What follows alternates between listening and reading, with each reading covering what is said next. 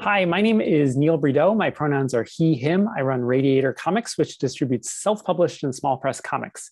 We're joined today by cartoonist and educator Ryan Claytor, who will be talking about his upcoming comic, A Hunter's Tale, for which Ryan is running a Kickstarter campaign through the end of January 2022. Um, today's video also includes a demonstration by Ryan on creating page layouts in the vector art program Adobe Illustrator.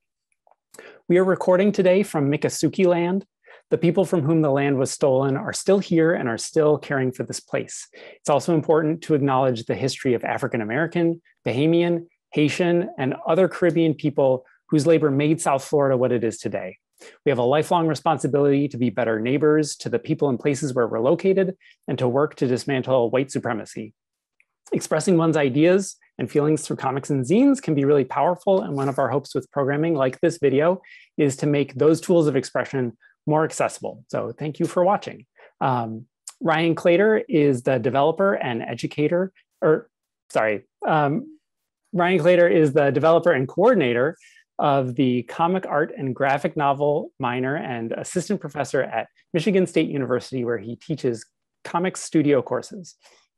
Ryan's achievements have included five space prizes from the Small Press and Alternative Comics Expo, including the top prize, first place in the graphic novel category.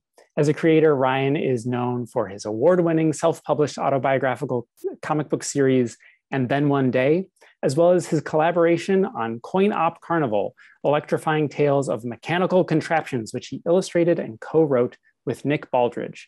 Ryan's international client list includes companies such as Moleskin, Stern Pinball, Verizon Wireless, Mr. Jones Watches, and more. His other artistic pursuits include designing uh, neon signs and more watches. Welcome, Ryan.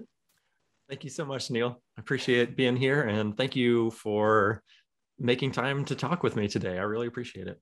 For sure. Um, so, A Hunter's Tale is a comic adaptation of a poem that your grandfather wrote.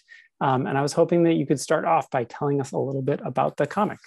Yeah, for sure. Uh, so, my late grandfather, Charles Kermit Claytor, wrote this poem almost 40 years ago. And this poem has resonated with me for a very long time. It's my my absolute favorite poem that he ever wrote. And it's a very narratively driven visual type of poem. And i feel like i've been able to see this in my mind for a very long time. And only recently have i felt confident enough in my cartooning to attempt a project that was this important to me. Uh, i also think it comes at a really good time because thematically this book is about um, reciprocated empathy you know seeing one another's sides even though that can be very difficult sometimes. And uh, i think that those lessons of radical empathy are something that are sorely needed right now. So i'm so excited to share this work with people. Uh, i'm excited to uh, let people know about my grandfather's poem and share these visuals that i've been creating over the past few months. Nice. And uh, one of the ways that you're sharing, like getting it out there is um, through a Kickstarter campaign, which you're running to, to help fund the comic. Um, what should we know about your Kickstarter campaign? Well, I'm glad you asked. so, uh, if you're looking for the campaign, you can go to a hunter's tale.com and that'll take you straight to the campaign. Uh, but I can share my screen here and show it to you. So, let me go ahead and share my screen. So this is the landing page that you'll see when you come to a hunterstale.com and it tells you about the creators, which are my grandfather and I, as well as uh, some preview images of the book itself and some pages from the comic. So I'll just scroll through here a little bit more so you can get a taste of uh, what's in the book and in just a little bit, I'm going to be giving a demo, as Neil mentioned, that's going to show how I started producing this page right here, page number two from the book, as well as page number three, this page that follows, um, using vector art to lay out panel structure and lettering. So uh, I hope that is of some interest to folks watching today. Cool. Yeah, and um, you you mentioned that uh, the, the the comic itself is about this like reciprocal uh, empathy, um, and uh, but it, it, it does revolve around hunting. Um, and for some people, hunting is like a fundamental part of their life and their culture. Um, and for other people's people, it's an appalling act. Um, they don't understand why people would do it. Um, and the comic does embrace the, like a pretty complicated um, view of hunting. And I was wondering uh, what your grandfather's relationship with hunting was, and may- maybe also what your relationship with, with hunting is. Sure, that's that's an excellent question, and I think you put it well that this theme of hunting does complicate this matter of empathy because it is kind of a polarizing um, subject matter. So I'll start by talking about my point of view and move on to talking about my grandfather's relationship with hunting. So uh, I am a big wuss. I do not like killing things. I do not like, um, I don't even like fishing, like, you know, an act that seems very relaxing, you know, hanging out on the boat.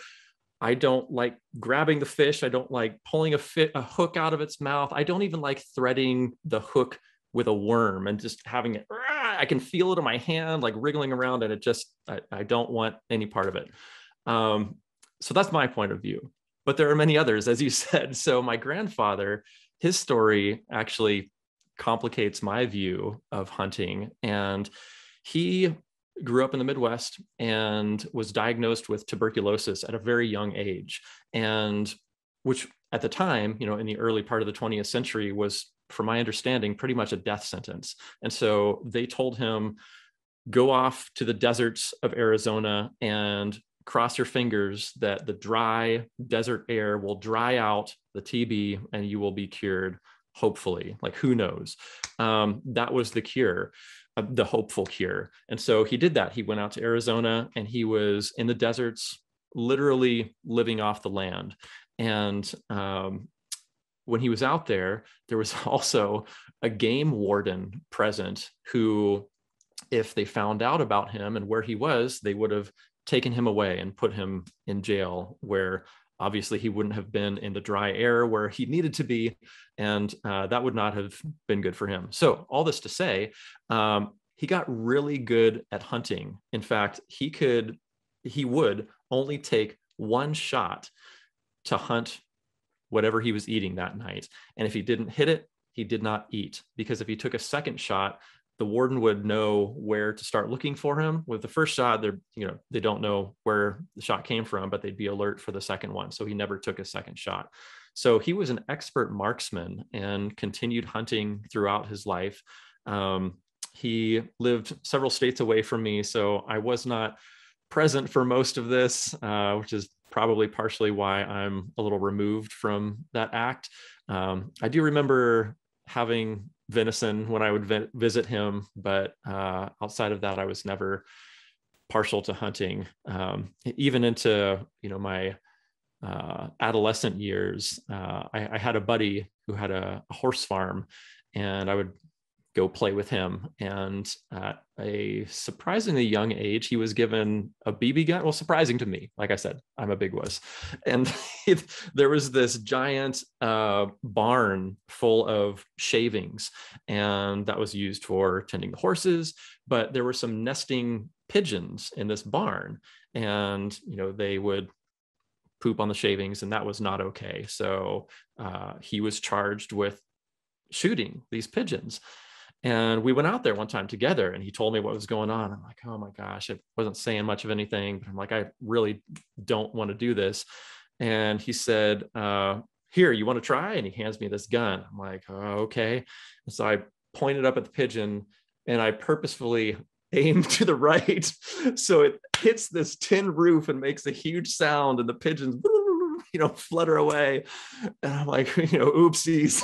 He's like, what'd you do that for? I'm like, oh, sorry, I must have missed. But I have just never been able to get in that headspace. And I understand that I exist in a privileged position to be able to say that.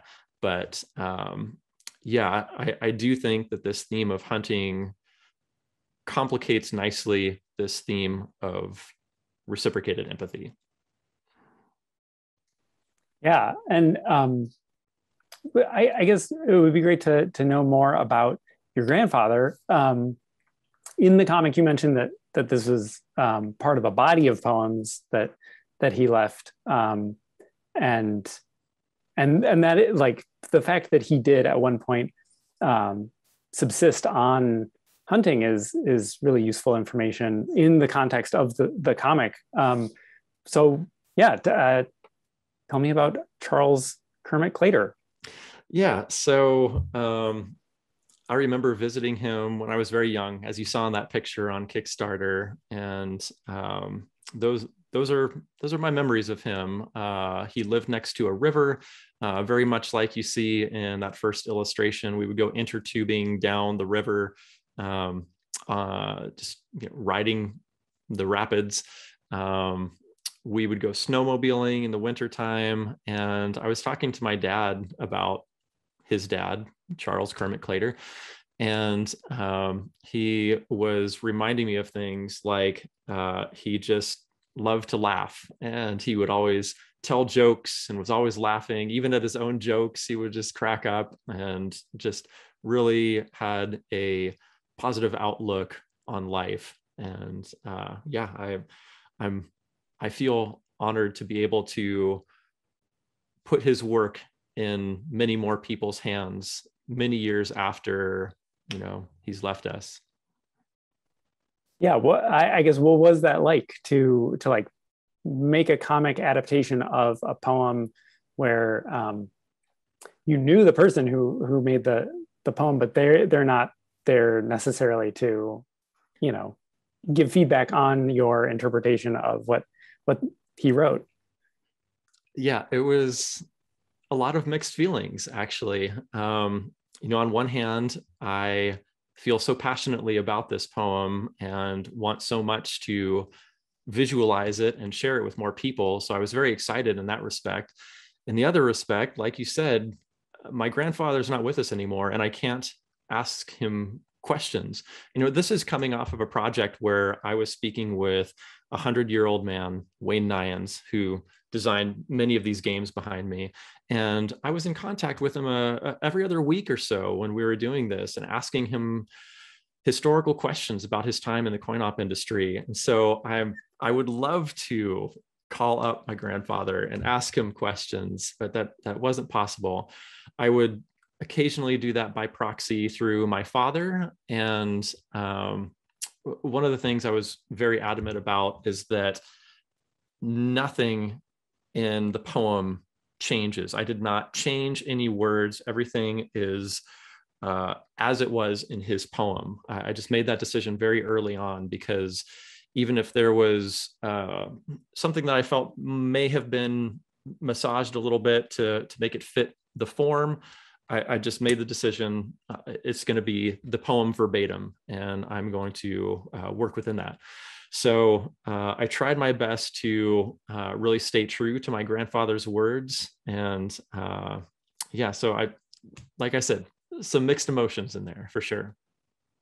Cool. Well, it's a beautiful comic. Um, and uh, I'm, I'm, I mean, I can't speak for him, but I'm sure that, that he would enjoy such a, such a thing. Um, so uh, I appreciate that. Yeah, yeah, for sure. Um, I feel like now is a great time to present your tutorial on creating page layouts using Adobe Illustrator. Um, is there anything that we should know before we, we jump into layout land? I don't think so. I, I, I, tried to start from the very beginning, you know, more or less a blank canvas, talking about laying out the page, and you'll see it as it comes up here. Cool, awesome. Let, let's do this. Here we go. Okay.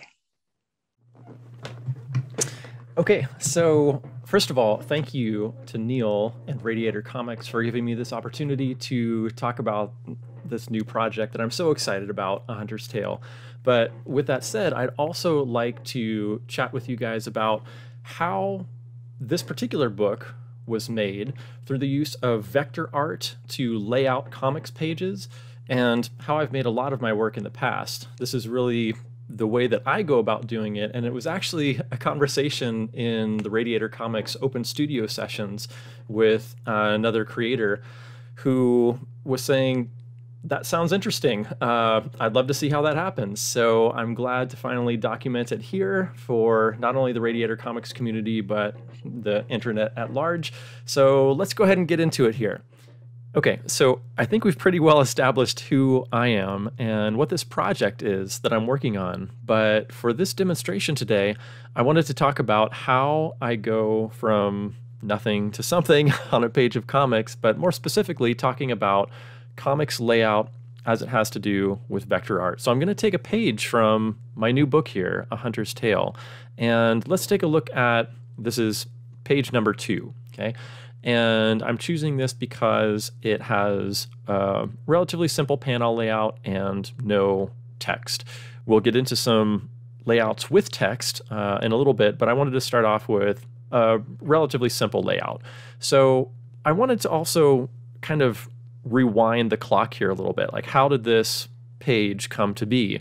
So, before it was fully rendered and colored, it was simply inks. But before I inked it, I penciled the page, which you're probably familiar with. If you make comics, uh, you move from pencils to inks. And this was penciled on my tablet. I have a Microsoft Surface Pro, and that's where I do most of my penciling. And uh, prior to that, even, this is what I want to talk to you about today how you create comic book layouts in a vector art program, for example, Adobe Illustrator. Now, before we get too far into this lecture, I want to make a bit of an outline for you so you know what to expect for the rest of this demonstration. So, we're talking about comics layout using a vector art program, and I'll be using Adobe Illustrator. So we're going to start off with Vector Comics Layout Basics. And the thing that we're going to create first is page two from this project that I've mentioned, A Hunter's Tale. And we're going to take about 20 minutes to go over custom page sizes, grid structure, setting that up, and then also outlining your gutters, where all those are going to go. So we're doing a pretty simple page layout to begin with. But then after we go through that, we're going to take another page and talk about expediting your vector comics layout. Now, that's only going to take about 15 minutes or so, and we're going to do that with the subsequent page from A Hunter's Tale. And we're going to go over things like lettering placement as well as templatizing your workflow in order to expedite this process. Now, even before this happens, I'll start sketching in a notebook and try to figure out what this thing, what this page is going to look like. And my page two looked something like this. It's a really horrible drawing. I hesitate to even show this to you, but here it is. This is how uh, ideas in my head start getting to be ink on paper. And I use this to figure out okay, do I need X number of panels? How big do they need to be? And ultimately, this was the sketch that I used to move forward with. Okay, so now that we have that established, let's go ahead and hop into Adobe Illustrator. So once you have the Adobe Illustrator environment up and running, the first thing it's going to ask you is what kind of a document you want. And you can simply go ahead and press letter size. It doesn't really matter because we're going to create our own custom page size in here. So once I press create, then it's going to show us this letter sized paper, which is 8.5 by 11 inches tall. Okay, again, doesn't really matter because you have a very specific size comic that you are going to work with. Now, for my book, I had a very odd size. It was going to be, and I'm going to grab this rectangular tool here and click on the artboard. And when you click on the artboard, it asks you what width and height do you want. So I simply input my width, which for this book was four and an eighth by five and a quarter inches tall. And when I say OK, it creates that page. Okay, so once you grab your selection tool or black arrow tool in Illustrator, you can move this around as you see fit. Okay, so here's our page. Um, when we make a page of comics, typically we have some sort of a grid structure on the page, which means the outside edges, not of the page, but of the panel borders themselves. So where does that panel border sit? typically I have about a half inch by half inch margin around the outside of my pages. So I'm going to make another box. I'm just going to click once and instead of 4.125 inches by 5.25 inches, I'm going to tell it to be 0.5 inches by 0.5 inches. I'll say okay. And this just acts as a little bit of a template, okay? I'm going to grab this thing by the anchor point. Now, it tells me anchor right up here. You can see it in pink. I can grab that by the anchor point and know that that is the point from which I am moving it if I have smart guides selected. Now, if you don't see that, you can always go up to view smart guides. And if it is unchecked, go ahead and check it.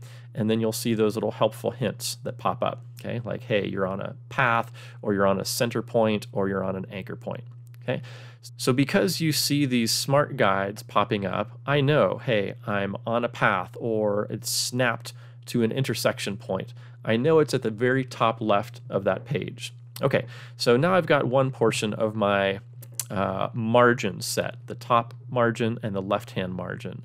Now on the bottom margin, uh, do a little bit of thinking about your page layout. Will you be including page numbers? If so, you probably don't want to jam them right up to the edge of the page, so I will typically give myself a little bit more room on the bottom of the page than I will on the sides and the top. So I'm going to make another 0.5 inch width, but I'll probably bump it up by maybe an eighth of an inch. So I'll say 0.625 for the bottom margin. So you can see that's just a little bit taller, an eighth of an inch taller than that other template that I made. Okay, great. So now I can get to work putting that in place. There we go. And now I simply drag out a rectangle from anchor point to anchor point, and I have a perfectly constructed grid structure uh, that has a 0.5 inch, 0.5 inch, 0.5 inch margin all the way around, except for the bottom, which has a 5 eighths inch margin on the bottom to account for the page number. Okay, so speaking of that page number, I'm just going to go ahead and put in a page number. I'll type in the number two, and you can highlight it and tell it to be any particular size you want. I'm going to go ahead and make mine a five point font. And then using the move tool, I'll go ahead and move it into place. Again, aligning with a center, make sure that text is centered, and it is so. Okay, there's my page number. Okay. I don't know about you, but I feel like that fits a little bit nicer than if there was just a half inch margin here. It feels like um, that page number was accounted for instead of being jammed in after the fact. Okay. All right. So moving forward, how are we going to construct this additional layout with Adobe Illustrator? Well, essentially we need to lay in some gutters and gutters are the space between the panels. So how wide are your gutters going to be? Now, the beautiful thing about working with Adobe Illustrator is that you can make these margins whatever you want, um, just like we made this page size whatever we want it to be. Now, if I were you, I would go to your favorite comic book and see what the margin size is. Like physically take out a ruler and measure that space between the panels. You know, what size, margin, space, gutter do you like? Uh, maybe it's a quarter inch, maybe it's a sixteenth of an inch, maybe it's around an eighth. That's about what I go for, is around an eighth of an inch. So I'm going to go ahead and make a new rectangle. Now check this out. I'm going to make one that is, you guessed it, an eighth of an inch wide. And then I'm just going to make it the height of my page, which was 5.25. Okay. Now we're going to get a really tall, skinny rectangle. And if it pops up like a black rectangle uh, and that looks strange to you, you can always change your attributes right over here in the default fill and stroke button. So it looks like it has a white fill, black stroke. Okay, just like gutters typically do. Now, um, I am also going to copy this. So I'll select that big tall rectangle and I'm going to go up to edit and pull down to copy Likewise, I'm going to go back up to edit and pull down to paste to make another one. And you see a second one appear. Now, what I'm going to do with the second one is simply rotate it. Now, if I go up to the top corner bounding box, you can rotate your shapes. And if you hold down shift, it's going to constrain your rotation to 45 degree angles. Okay, so I rotate it until it is horizontal, and then I'm going to move it up here above the um, uh, page. So maybe you can see what's going to happen from here. Essentially, I'm remembering that awful sketchy layout that I did. I'll pull that up right here for you now. So you can see that. And I'm trying to conceptualize, okay, there is a relatively large panel at the top. It's not right in the middle. It's not half, but it's larger than the others. So I will move that to so that there's a majority of room in the upper portion. Then it looks like there's a series of three panels in the middle grid and then a final smaller uh, tier of one panel. Okay, so I need another one of these things.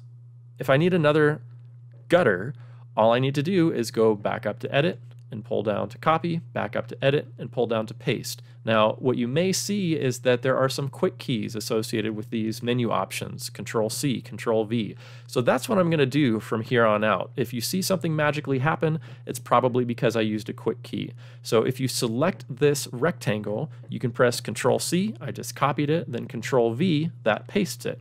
Now you've got another one to use. And I'm going to move that down so that it roughly mirrors my sketchy layout that I showed you. Okay. All right. So we have our tiers created. One, two, three tiers of comics on this first page. The next thing we want to do is to create those vertical gutters so that we have those three equal tiers here. All right, so I'm going to take uh, this uh, gutter and I'm going to copy and paste it. Copy, paste. I have another one to work with. And this is too tall. I do not need it intersecting the entire page. I am just going to uh, resize it. Uh, zoom back out. So that it is roughly the height of that tier. Resize the bottom, so it's roughly the height of the tier. And you might be thinking to yourself at this point, self, I think I could just copy and paste this thing, right? Okay, copy, paste, and there's another one and here are our three panels, but they are not quite equal, right? Okay, so we could get in here and sort of fudge things around until we have something that looks reasonable, but this is not accurate. And if you're anything like me and like most comics artists, you're a bit particular. so I really want a series of panels that are democratic, that every panel occupies the same space. Occasionally, depending upon the pacing that I want in my comic. But in this portion, I really wanted this equal series of panels here. So I want to show you a super handy way to make equally spaced panels across your page. And this can work for vertical panels, horizontal panels, whatever you want. So I'm going to take one of these rectangles, one of these gutters, and I'm going to grab the outside. You can see how it says path right here. Okay, I'm going to move that so that it intersects the outside of my panel's grid structure. Now I'm going to take the other one and move it over as well. Okay, once I have these sitting on the outside edges of my grid structure, I'm going to use a tool called the Blend tool.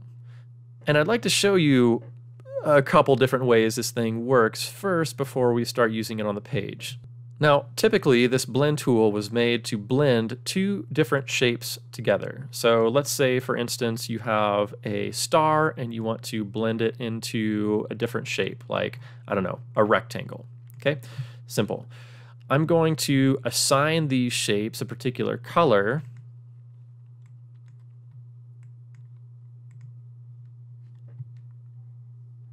And now that I've assigned them a color, I can go to the blend tool and click on one shape and then the other, and you'll see it blend from one to the other. Okay. Now, how does this have to do with comic book layout? Well, let me explain this to you in a couple different ways. So again, we talked about how this moves from one shape to another. I'm going to grab this star once again and make sure that my and make sure that my rectangle is a different color. Okay. So now that we have this same situation set up all over again, I'd like to show you a different way this can work.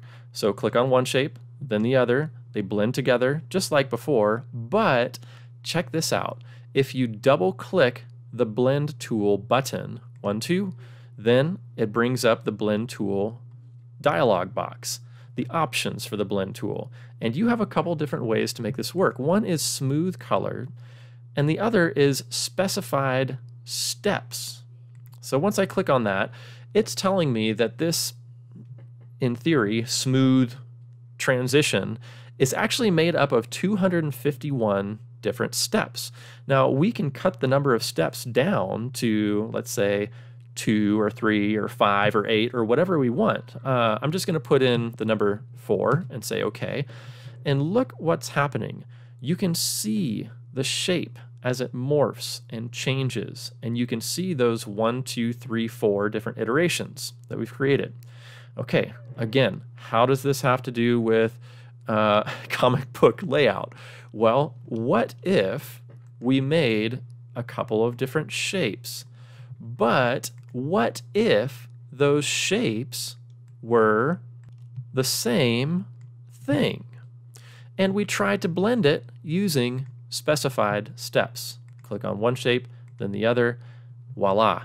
You have a blend, or actually a sequence of shapes. Now, this rectangle has blended into this rectangle, but because they are identical shapes, the intervening shapes do not change shape as they have above. Okay, so let's clean up our canvas a little bit. I'm going to get rid of all this. And my attributes for these rectangles are not colors, they are uh, white fill and black stroke. So when I use this blend tool and click from one to the other, aha, four steps in between. But how many steps do I need in between? In order to make three different panels, I need two gutters in between them. So now that I have this blend created, I'm simply going to go back to the blend tool with that blend selected, double click the blend tool to bring up the blend options, and change the number of specified steps from four to two. Say OK, and there is my Illustrator layout. Okay. So we see that page layout that I wanted. We see the exact spacing that we need. Now, traditionally, this would require a lot of math to get just right you can't just find uh, you know the midpoints or the tri points or the quad points here and then you know you'll have to find uh, 16th of an inch out from that on one side and a 16th of an inch on the other to make an eighth of an inch and then do the same thing on the other side. Oh it just gets way too complicated to do. So this makes your job super easy. Now this looks like doo-doo right? It looks like a bunch of bars laid across a page but what you want is something nice and clean that looks like a page of comics. So here's how we're going to do that. First thing, we're going to select all of these gutters. I've selected each horizontal and each vertical bar, and I'm going to go to the Pathfinder palette. Now, if you don't see the Pathfinder palette in your list of palettes here, you can always find all of them in the Windows menu. Windows menu. And if it is unchecked, it means you are not looking at the Pathfinder palette. I am, so it's checked. So I'm going to grab this Pathfinder palette and just bring it right out here so we can see this a little bit easier. Now there are a lot of different ways that you can make shapes interact with one another in Illustrator using the Pathfinder palette. And that first one is the Unite shapes. That means if you have two different shapes, let's say, you know, could be anything. It could be a rectangle and a circle or an oval. If you select these two shapes and click the Unite button, they join together to create one new shape. Okay, so now that you know how the Pathfinder tool works a little bit, let's go back to those gutters and select all of them. I've selected the horizontal and the vertical gutters, and I'm going to click the Unite button. That did not change anything. And here's the reason why. Because these shapes are still a blend. this was a shape and this was a shape, but this is just blend is figuring out how to make these shapes move from one to the other. Okay.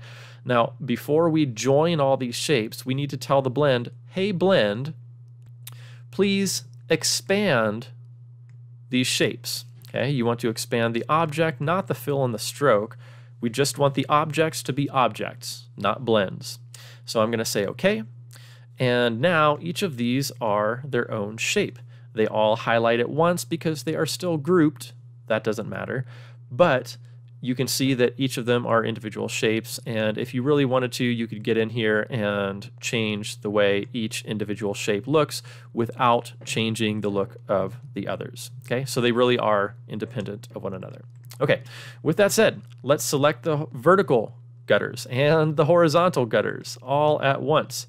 And now that we have everything selected and expanded for the blend, we can click on that unite function and they all form one shape. Okay, what are we going to do with this ladder looking shape? Well, we are going to use it to cut a hole in this rectangle. Remember we made this grid structure for our page?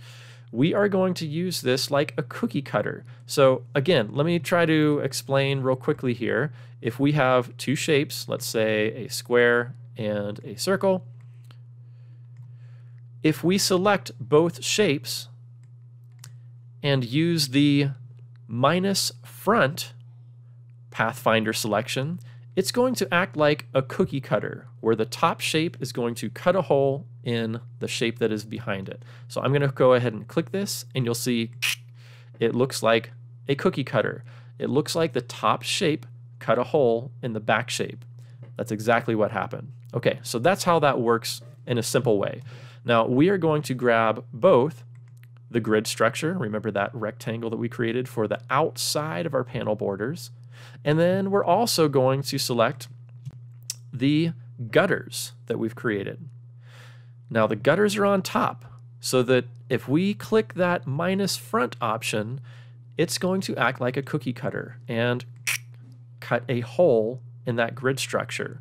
Now, when I deselect, I think you can see, ah, I have a perfectly, delete, created, delete, panel structure for my comic.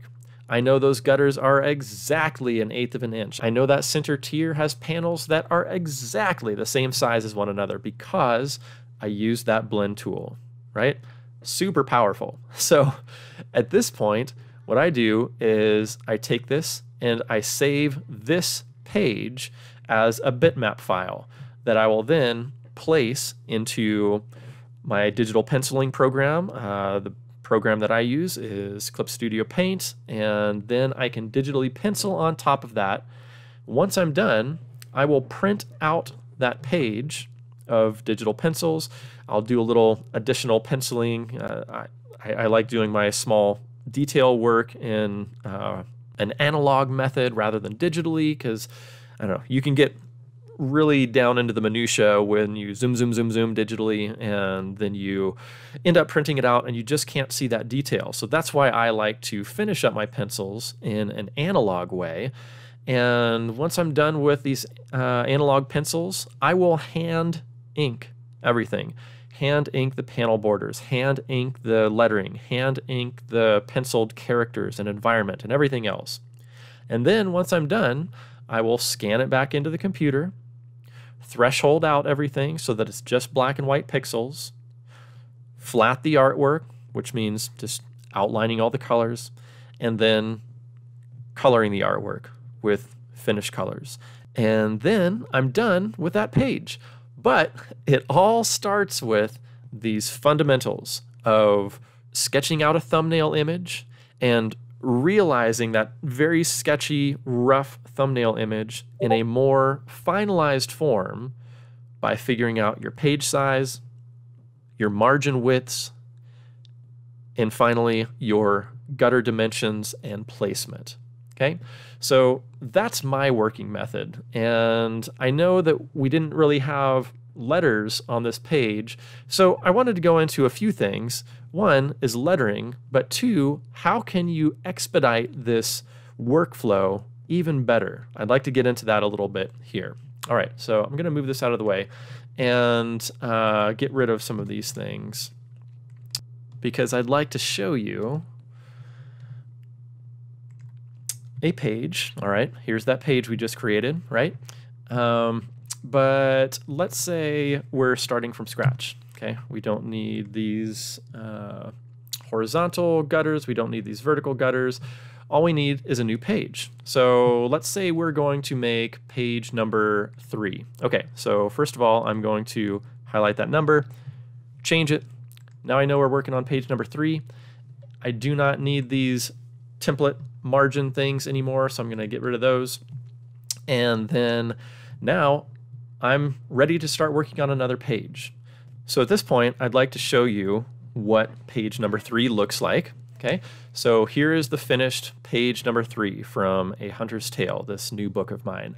And again, I'd like to sort of play to you in reverse order how this comes to be. So on the previous step, we have inks, and when we take those inks away, you see the pencils that came before it.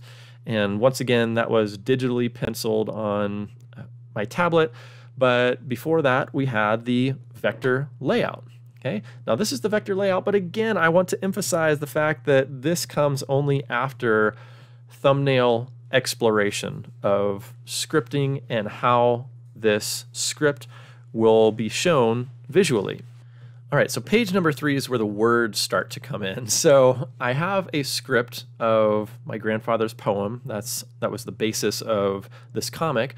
And when I start putting in words, I will highlight the uh, portion that I need, copy it, and then I'll go back to Adobe Illustrator where on my lettering layer, I have an existing piece of text. It doesn't matter what it is, but what does matter is that I've sized it appropriately. So this text is a six point font, and that's the exact size that I want my font to print. You know, I've done prior tests and I know what I want, so there it is. And I even have templates like speech balloons uh, if I need to put some text inside a balloon. Okay, so at this point, I am going to use the type tool to paste that text. Now you'll see that text looks a little bit different, or maybe you don't because it's very small. Uh, let me show you. Here is the uh, comic book font text in six point font that I already have. Here is something completely different. So I'm going to grab the selection tool to select that text and then use the eyedropper tool to click that prior text, bonk, and then you'll see the new text form the same attributes as that template text. Okay, so there we go. Now I can start grabbing that text and moving it to where it needs to be, but not before laying out the panels. Now, if you remember what page three looked like, I'll bring up a little image of the thumbnail here. There were four equal panels across the top that's going to be a small tier up top, and then we have a couple of larger tiers down below. So again, I could start making these gutter rectangles all over again, or I could simply have a layout tier where I have equally spaced gutters, horizontal and vertical, all ready for me. So what I've done here is to simply make a gutter and if you recall, my gutters, I I make mine uh, 0.125 inches. And for the width, I'm going to say uh, 4.125, the width of the page. Just a little overkill. And what I did to make these is to line up these gutters. You know, I grab the edge, I align it with the edge of my grid structure, and then I'll take that same gutter and duplicate it onto the bottom and blend the two of them together. So using the blend tool, I will click the top and then the bottom and you see it form X number of intervening shapes. Okay, so that works fine for the three equal tiers, right? So I could pull that over here. You see that is essentially what I did and then uh, contracted it so that it doesn't take up quite as much space and I can pull over whatever I want. But in these other cases, you'll see I did that with one division or one, two, three divisions. And I can simply grab these and pull these over, holding down the shift key to make sure that it lines up with the grid structure once again. And once that happens, I pull it out to what it needs to be. And there is my equal grid structure. Now, this grid structure needs to mm, be unequal. so I am going to use that old expand trick. Remember, if I go up to object and pull down to expand, it brings up the expand dialog box. And remember, all I want to expand is the object itself, okay? Just the object. I say okay.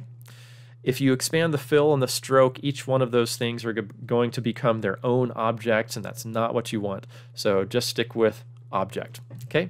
So now we have separate objects. However, if I click it, it still moves as one shape. So what do we do to ungroup these? Well, we can simply go up to Object, Ungroup, and if you find yourself doing this a lot, the quick key is Shift Control G, and that ungroups your objects. So now if you click away or deselect by clicking on a blank area of the artboard, you can grab one of these and move it to wherever you want. So now that's going to be a rather short tier of panels and then a larger tier of panels uh, singular panel. And then I'm probably going to use the keyboard just to ding, ding, ding, ding, ding, ding, ding, ding move this down just a little bit you can move it by pixel increments if you use the arrows on your keyboard. And that's about what I'm looking for on page number three. Now, I want four equal panels up along the top tier. How do I do that? Well, I did the same thing I did horizontally, vertically up above. And because they're already created, I don't even need to think about just dragging that right down into place. And voila, four equal tiers. Super, super easy, right? So at this point, you guys know what I'm going to do. I'm going to use the Pathfinder tool to join all these things. Oop, there is a uh, blend right here. You can see it because when I selected it, it has that line running through it. We do not want to blend, so I'm going back up to Object and pulling down to Expand. What all do we expand? Just the object. Say OK. And now we can grab all of the gutters Okay, I'm going to grab everything and then deselect by holding down shift and deselecting just the page and the exterior panel border. Boink. Now all I have selected are the gutters. So in the Pathfinder, I click Unite. Now all the gutters are united, which allows me to then select the exterior panel border. And once all that is selected, I simply minus front, and voila. There we have our very precise grid structure. Now, on this page, I also have some text. So I'm just going to uh, grab that text. And at this point, I only need the first line. So I'm going to grab my type tool, oops, my type tool, and only select that first line. I'm going to press cut, which is control X, and then paste it into place on that lettering layer. And that, oopsies, that is a very long piece of text and I would like it to be cut in about half. So I'm simply going to carriage return and usually when text is inside a speech balloon, I want it centered, but I'm going to highlight everything and left justify it uh, since it's going to be sitting in a left justified narration box. Okay, so I need to make a narration box. I'm simply going to grab the uh, rectangle tool and make a rectangle around this text. And if it's snapping to areas that you do not want, you could always turn off that smart guide, but I think I'm gonna be okay with this just for demonstration purposes anyway. And I'll dink that into place. So I've got roughly a letters width distance between the text and the balloon wall, or in this case, the narration box wall. And then I can move that into place. Now here's another option for you to get pretty accurate with your layout. You might just toss this in here willy-nilly, but I like to make sure that my margin between the narration box and the panel border is the same as the gutter itself. Now, the width of the gutter, if you recall, was 0.125 inches. That's one eighth of an inch. So what I'm going to do is create a little template square that is 0.125 inches by 0.125 inches. There, there it sits. Okay, now I'm going to take this and put it in the upper left-hand corner. I know it's exact because it's intersecting with the anchor point there. Drop it. And now, check this out.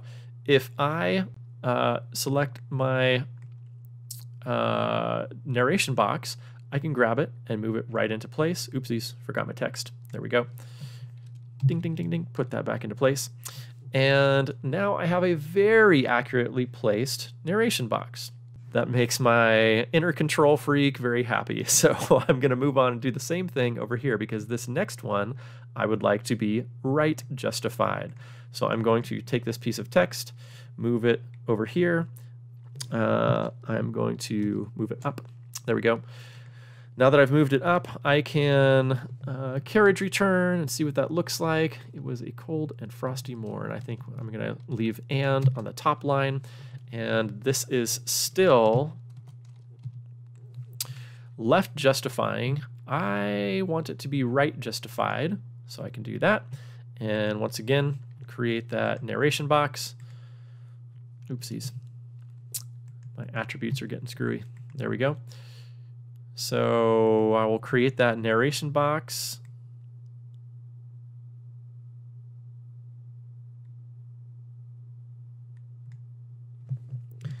And move it to the background by clicking Control Shift bracket. And you should be able to see it. Bring it back to the front if you Control Shift other bracket or simply Control bracket. So there is that new narration box. I am going to place this so it does not look like it was just thrown over there willy-nilly. Uh, I'm going to place it exactly where that template is. Uh, it seems as though I forgot the text again, so I'm just going to grab that text, move it into place, right where it belongs, and all is right in the world. I think I need to expand that box just a little bit. Okay, there we go. Excellent. So there is my very precisely created comics layout using a vector art program like Adobe Illustrator. So now you understand how to create a page, how to create template boxes to make your very accurate margins, to make your grid structure, which you can then cut up using gutters, horizontal and vertical, that you create. And if you'd like to expedite your process for making this, you can always start making additional gutter templates that you can simply copy and paste into place to use as you see fit. So just to show you the reverse order of this, here is page 3's thumbnail. Here is the vector art layout we just created, and I will put that into a digital penciling program, which I will then use to pencil on top of. And at that point, I print that out, hand pencil, hand ink, scan back in, and color. And ultimately, here you have the final page three. Okay, so that just about does it. Uh, I hope this was helpful or maybe inspirational, inspiring you to try this out on your own, and at the very least, maybe at least interesting. Uh, I've been told that this is kind of a different working method. I think I just cobbled this together after a number of years of working with these programs. I'm an educator, and for many years, I taught a number of different graphic design programs like Adobe Illustrator, Photoshop, Web Tools, things of that sort. And so these programs were just like extensions of my body, and I, I had a hard time thinking of how to work without them. You know, I'd have ideas of how I'd want things to happen on the page, and it was really difficult for me to get the accuracy that I wanted just using a ruler and pencil. But with a vector art program and these smart guides and very accurate ways to create objects, I found it very easy, and I hope that you do too. All right, that was really interesting. Um, thank you so much for for that tutorial. Uh, it's always fun to to like learn and see new tricks um, that hide in like these really complex and often intimidating programs like Illustrator. Um, and I wanted to follow up with one of the last things that you said, where you mentioned that you developed this process by using these programs over the course of years. Um, are there resources um, that you turn to to like learn about new tools that exist within programs like Illustrator or other like Adobe programs? Or um, do you have tips on getting to know programs or like recommendations for for folks looking for tutorials similar to to what you just presented?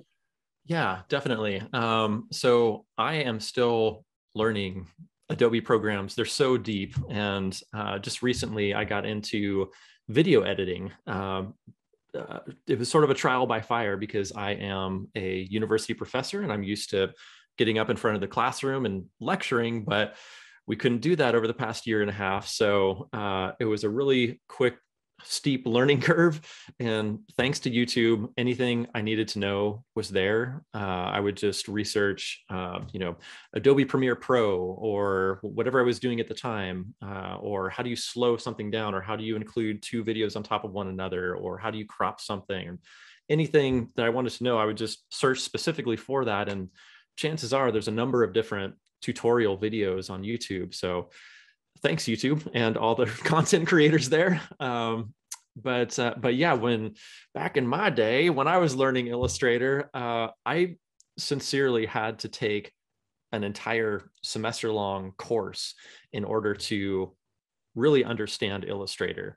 Um, I knew Photoshop like the back of my hand, but when I tried to intuitively make the jump to a vector art program like Adobe Illustrator, I was lost. And now I feel like I could not exist without Illustrator. it's just such a powerful program once you understand how that pen tool works. That's really the core of Illustrator. If you don't understand the pen tool, you don't really understand Illustrator. But once you understand those you know bezier curves and uh, you know the handles and the anchor points and how you can manipulate them it is so extraordinary extraordinarily powerful and on top of that once you start using those smart guides which tell you okay you're on a line you're on an anchor point you're on a midpoint man you can just use that to lay things out so quickly and accurately it really uh, makes my my inner control freak happy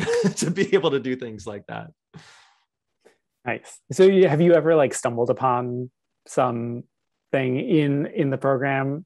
Um, do you ever learn that way by just like playing around with stuff and then like discovering a like a trick or definitely i think that happens more easily in a program like photoshop uh, you know rasterized program where there's different filters that basically you can just go through and try out and you see what they do.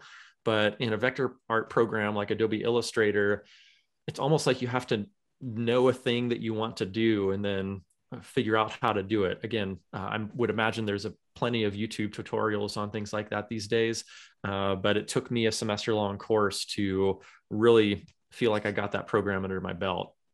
Yeah, um, it's it's a very intimidating program when you don't know it. Um, so with the the page three um, demonstration, you you had like a lettering layer, and you also had like the prepared layout layer um, ready to go. Mm-hmm. So that means that at some point you must have sat down and like taken some time away from like actually like making comics to create some sort of template document that you like open up every time that you want to lay out a new page, right?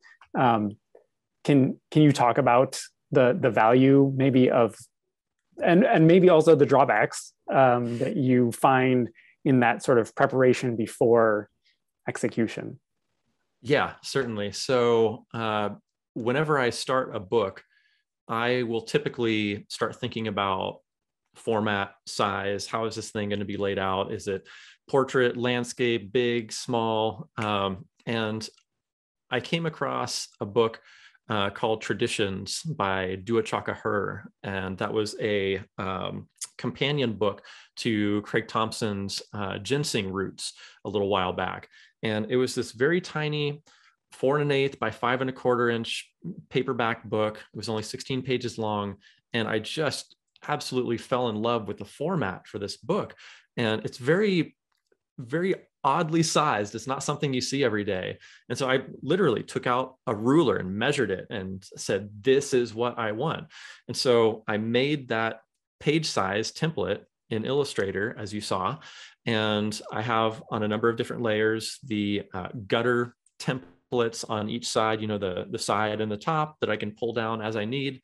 Uh, and I also have a lettering layer. So once I, as you saw, copy and paste the script into Adobe Illustrator, I can just quickly take that eyedropper tool and say, hey, be just like this text up here. And then it formats accordingly. You know, I have my text set as well to six point font for when it prints out at six point font, uh, which sounds small, but when you're working in all caps, it's plenty readable. Um, so yes, I will templatize the pages for every one of my books so that I don't have to whip out a sheet of Bristol and rule out every side of the page and every uh, panel border and grid structure. You know, that's that takes a lot of time, and having that templatized saves a whole lot of time. Uh, you had a really good question, which is what are the drawbacks of that too? Um, so the panelization technique I use is pretty traditional, I would say. It's uh, mainly working in rectangular panel borders. Occasionally, when I'm working in books, I'll negate a panel border and have you know a borderless panel or something like that. But I'm not going all J.H. Williams third on this and making you know bat shaped panels or anything. Um, so if there was a limitation to it, I'd say it's the uh, structuredness of that layout. Um, but again, you can break those constraints by just pulling out a single gutter and then changing them if you want something diagonal or pulling out a circle if you want an inset circle somewhere or um, any number of things. So uh, I don't know. I, I guess it's just the way my brain works is with Illustrator, but also in this very like regimented way, this structured way, this uh, traditional rectilinear panel border structure by and large. Well, and with any sort of um, tool, you know, there's like you start off super slow, like when you're learning, and and things feel awkward and and clunky. But then once you like get to know the program, you can it can you streamline your your process, and then you can also sort of build on and maybe even experiment with like different like like different shapes and and ways of laying out a program. For sure. Yep. Completely agreed. cool. Well, um, thank you so much for this conversation and for the uh, great tutorial, Ryan. Um, so uh, A Hunter's Tale Kickstarter can be found at ahunterstale.com and um, it runs through the end of January 2022.